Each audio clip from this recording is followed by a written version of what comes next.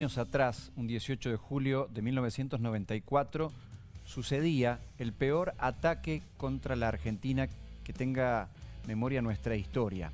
El ataque a la comunidad judía, pero que en realidad fue un ataque a la Argentina, el ataque a la AMIA, a la Asociación Mutual Israelí.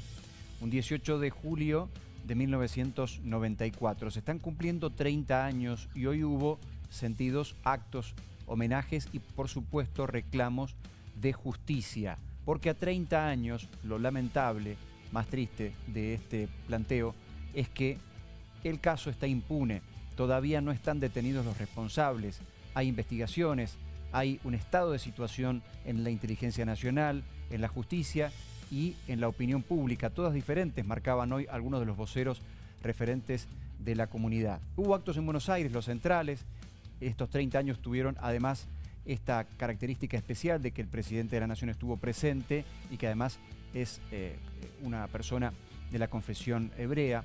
Y aquí en la provincia de Mendoza también actos eh, correlativos. Estuvo el gobernador de la provincia, estuvieron referentes también de la comunidad judía y se estuvo respetando el Día de la Memoria Activa como lo dicta una ley provincial.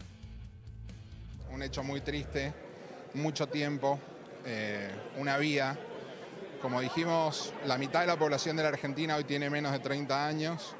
O sea que todos nuestros jóvenes no estaban vivos cuando esto sucedió y lo tienen solo por imágenes, por videos.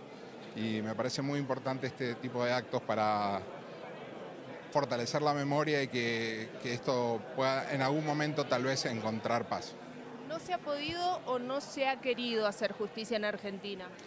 Entiendo que no se ha querido. De hecho, hay tres causas. Eh, una causa principal que es para encontrar a los responsables y dos causas más que tienen que ver con encubrimiento.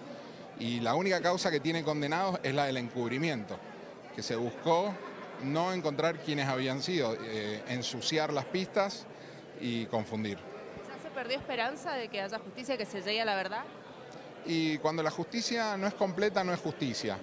Entonces, ya justicia, justicia no vamos a tener, pero tal vez podamos encontrar, si, se puede avanzar con las distintas opciones que están buscando ahora el gobierno, eh, tal vez se pueda encontrar algún tipo de confort en, el dolor. Bueno, ese era el capítulo provincial. Los actos principales, como decíamos, estuvieron en la eh, sede de, en la nueva sede de la Asociación Mutual Israelí en Buenos Aires. Allí participaron muchos referentes de la comunidad judía, pero también muchos autoconvocados. Allí elevaban las imágenes de los rostros de las víctimas, 85 de manera directa, otros hablan de 86 porque además recordemos murió Alberto Nisman, el fiscal especial que investigaba esta causa.